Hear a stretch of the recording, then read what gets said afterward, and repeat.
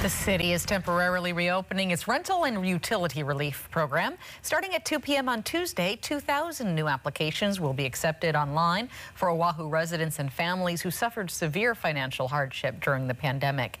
This is for new applicants only. Those who qualify can get up to six months of help with rent and utility bills. For those who don't have internet access, an in-person enrollment event is scheduled for June 19th from 10 a.m. to 4 p.m. at the Nanakuli Public Library. You must call the numbers on your screen to RSVP.